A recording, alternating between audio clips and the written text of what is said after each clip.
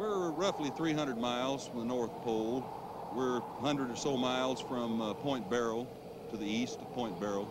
It is the last frontier, I guess, of the United States, an awful cold one. Right. Uh, what we're, we're drilling for oil right here on the north slope of Alaska.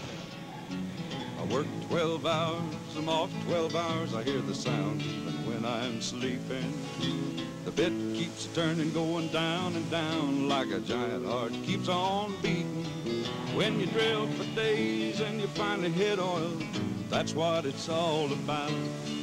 Most times we don't find nothing, so we gotta move further out.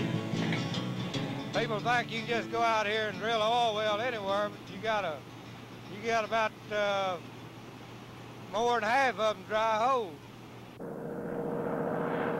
Don't get oil here, we'll move to another location and try again.